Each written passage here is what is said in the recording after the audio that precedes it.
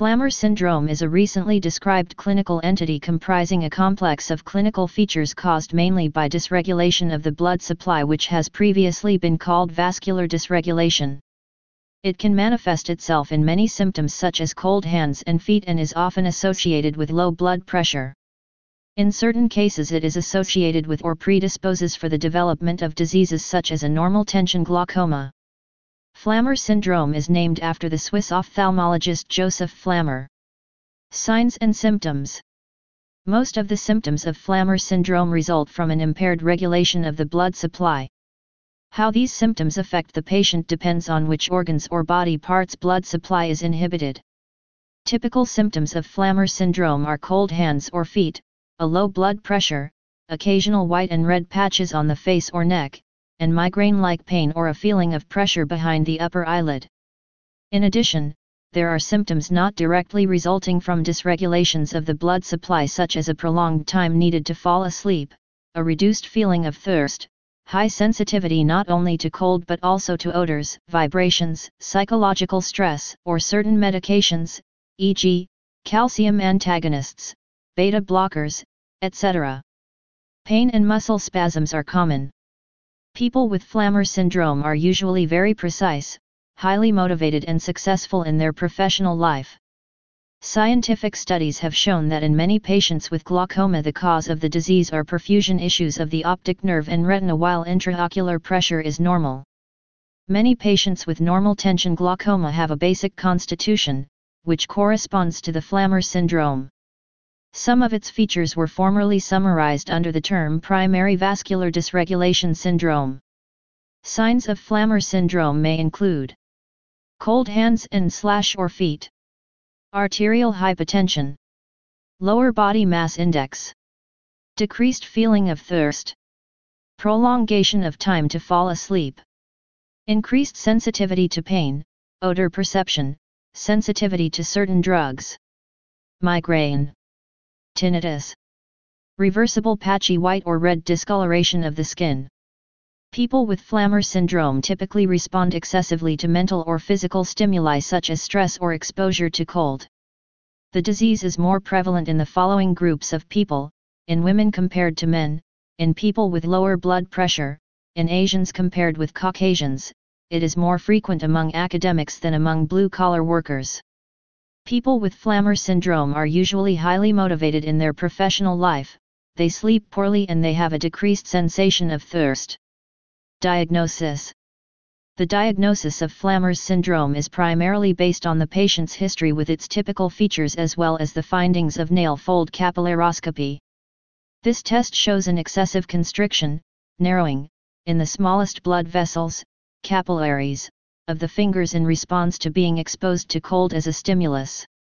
Patients with vasospastic symptoms as they are characteristic for Flammer syndrome have shown a unique gene expression when their lymphocytes underwent gene expression profiling.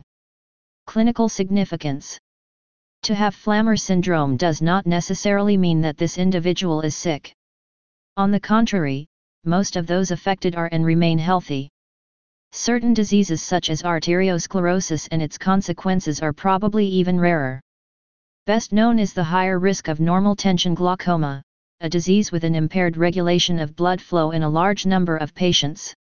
If glaucomatous damage occurs despite normal eye pressure or if glaucomatous damage is progressive despite normalized intraocular pressure, frequently a Flammer syndrome is the cause. In these eyes, an elevated pressure in the retinal veins has been observed.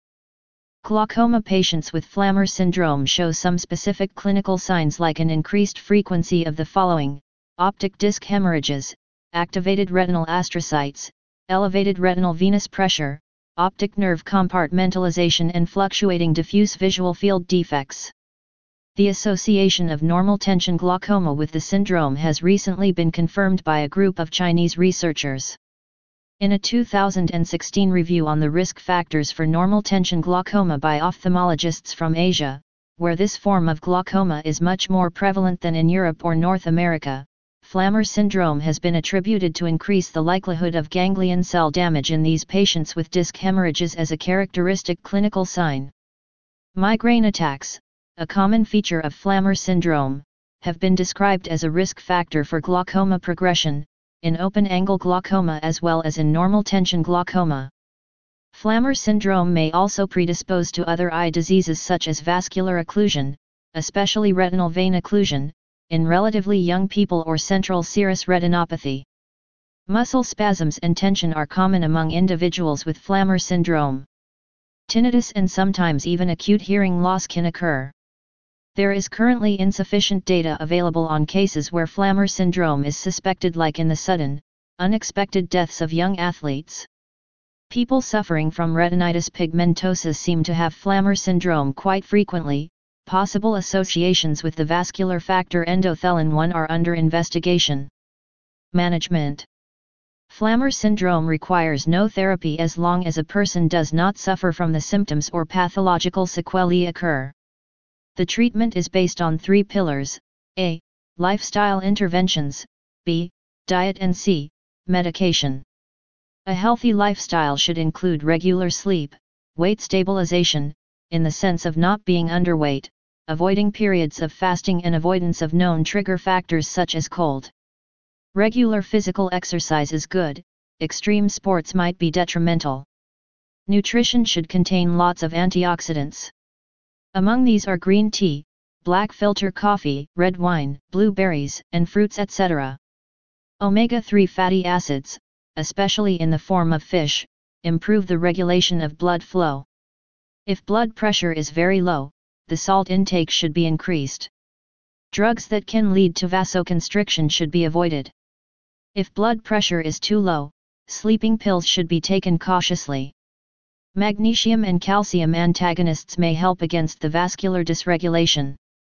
With lifestyle interventions attacks, particularly pronounced symptoms such as massive cold extremities, tinnitus, or migraine-like episodes, can be avoided or these can at least be reduced.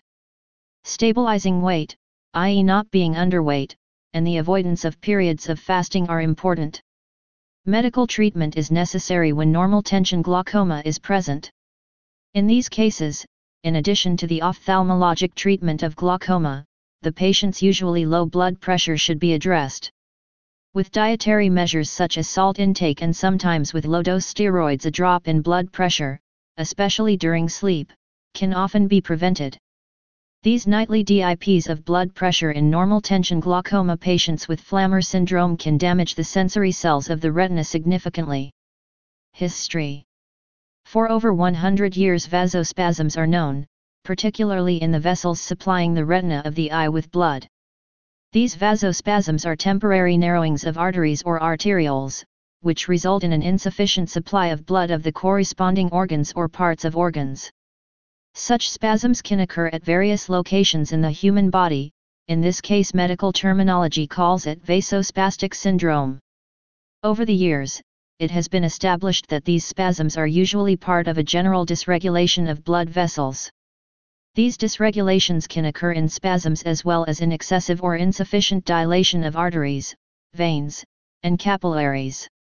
The blood vessels of individuals suffering from vasospastic syndrome respond to stimuli insufficiently. If an identifiable disease does not cause this, it is called a primary vascular dysregulation, PVD, in case of an underlying disease it is called secondary PVD. PVD is almost always associated with other vascular and non-vascular symptoms and signs. This entire complex, PVD and accompanying symptoms, is today called Flammer syndrome. Please subscribe and thanks for watching.